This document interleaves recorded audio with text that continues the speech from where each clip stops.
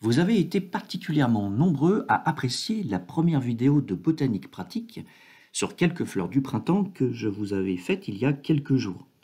Je vous propose donc de faire une suite à cette découverte des quelques fleurs qui fleurissent en ce moment. Commençons par une plante que vous connaissez probablement, c'est l'alière. De son nom scientifique, Aliaria peciolata, elle fait partie de la famille des brassicacées, famille que l'on appelle souvent par le terme français de crucifères.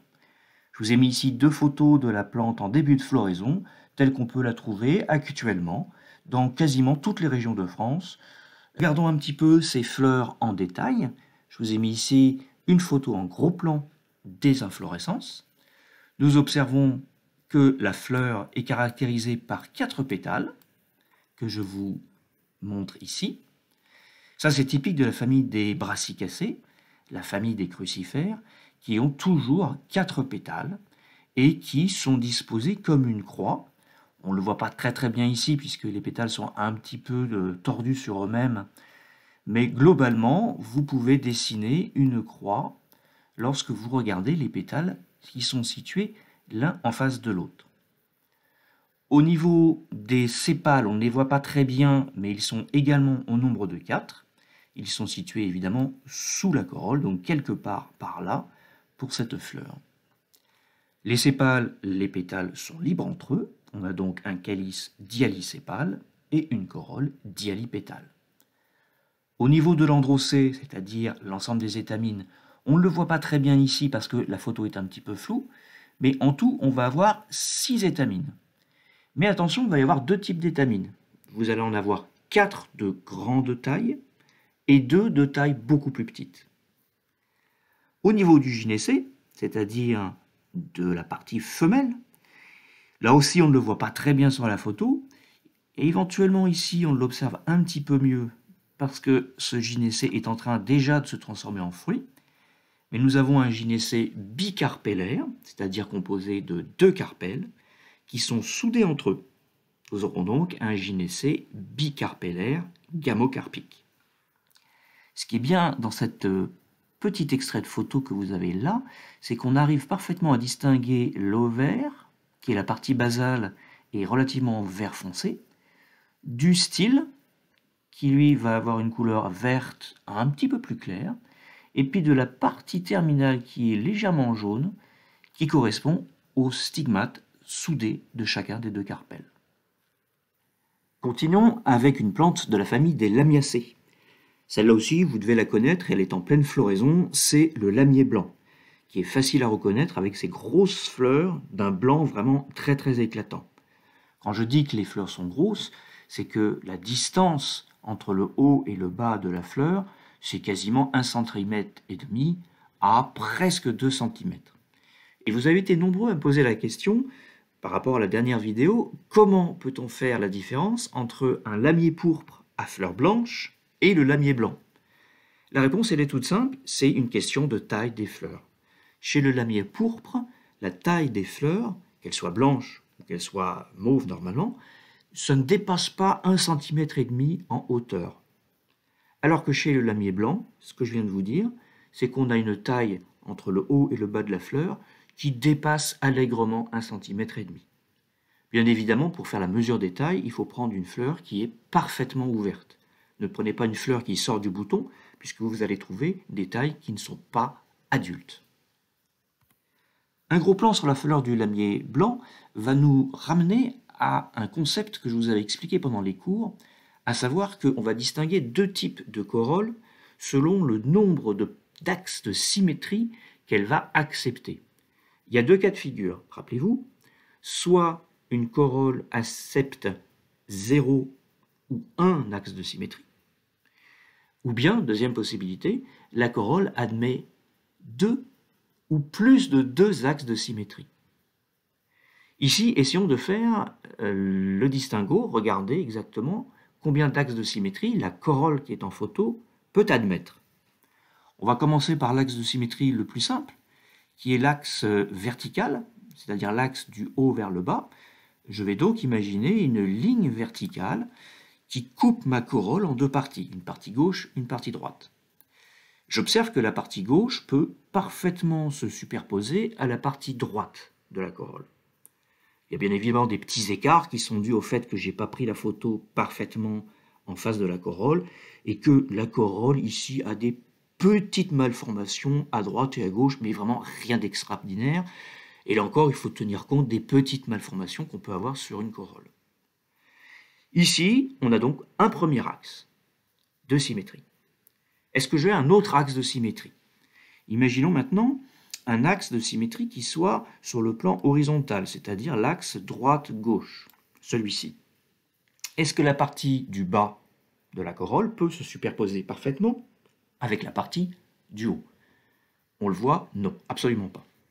En effet, ces parties-là, vous n'allez pas les retrouver quelque part sur la partie supérieure. De ce fait, l'axe horizontal n'est pas un axe de symétrie. Continuons et imaginons cette fois-ci un axe oblique qui part du haut droit de la photo et qui va vers le bas gauche de notre photo en passant par le centre de la corolle. Et là encore, on voit que la partie qui est en bas à droite ne se superpose absolument pas avec la partie en bas à gauche. On peut aussi imaginer un autre axe oblique, cette fois-ci qui part du haut gauche de la photo et qui va vers le bas droit de la photo, passant par le centre de la corolle. Et là, même punition, la partie qui est ici ne se superpose pas avec celle qui est là. Donc ces deux axes obliques ne sont pas des axes de symétrie. Au final, la corolle de notre fleur de lamier blanc n'admet qu'un seul axe de symétrie, et cela correspond à l'axe vertical. Pour faire ce type de travail, eh bien, il faut prendre une fleur qui soit parfaitement ouverte, c'est-à-dire mature, et puis il ne faut pas faire comme moi j'ai fait sur la photo, j'ai pris la photo légèrement de travers, ce qui fait que ça va fausser ma perspective pour bien regarder si mes deux côtés d'un axe sont des côtés parfaitement symétriques par rapport à cet axe. Donc, regardez bien la fleur en face et non pas de côté, comme là, malheureusement, je l'ai fait.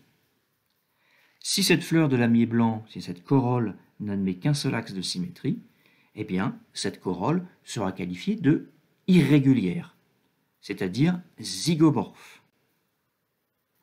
Voici une autre plante qui fleurit au printemps. Celle-là, vous la connaissez. C'est la lunaire qu'on appelle aussi par le terme de monnaie du pape. Lunaria annua, et elle fait partie de la famille des brassicacées, comme la lierre que nous avons vue tout à l'heure.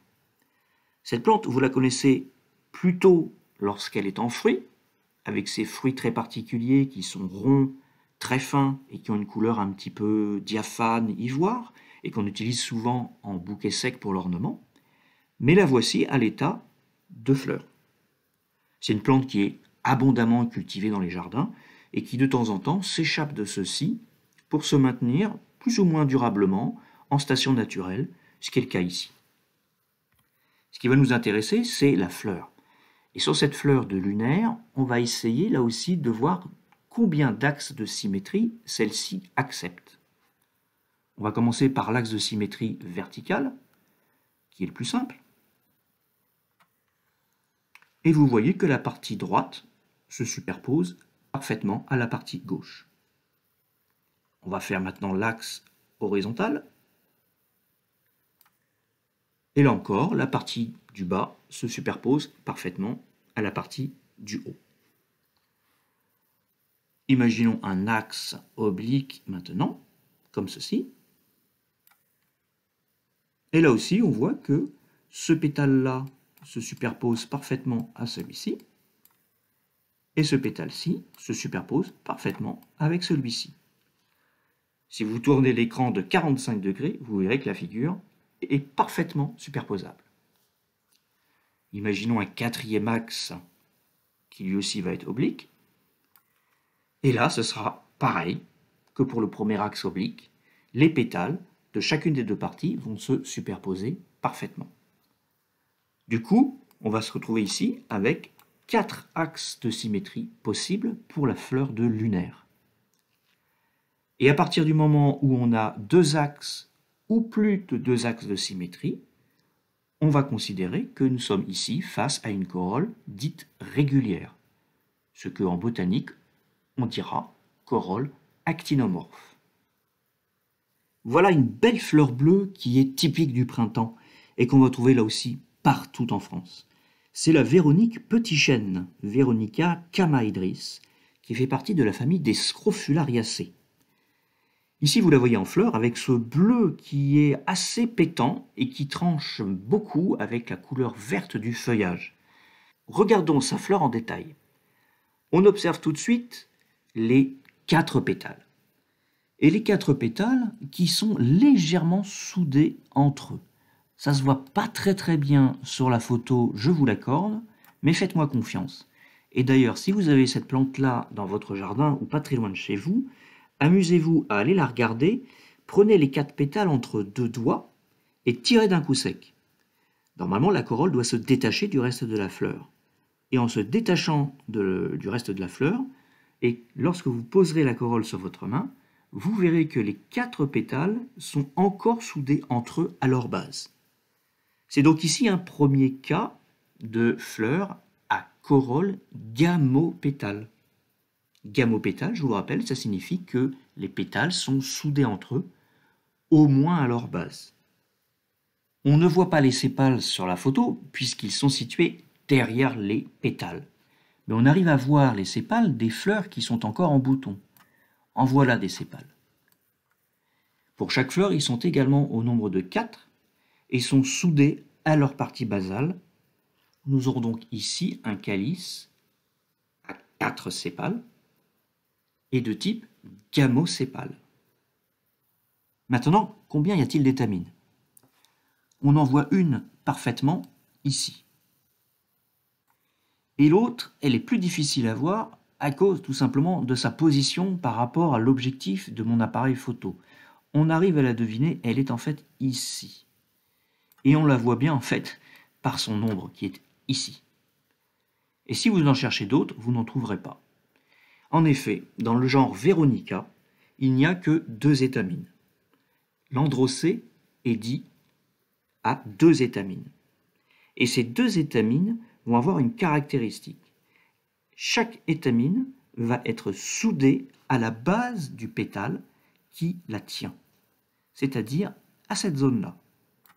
Là encore, on ne le voit pas bien sur ma photo, mais comme je vous l'ai conseillé tout à l'heure, allez arracher une corolle de Véronique et vous verrez que les étamines sont soudées par leur base à la base des pétales. Quant au gynécée, là sur la photo qui est assez floue, il n'est pas évident à observer. Il est au centre, le voilà. Il est constitué en fait de deux carpelles soudées entre eux. C'est donc un gynécée bicarpellaire gamocarpique. Chez cette famille des Scrofulariacées, les styles de chacun des carpelles sont également soudés entre eux. Les deux styles soudés entre eux, on les voit, ils sont là. Et d'ailleurs, vous les voyez aussi par leur ombre portée sur le pétale.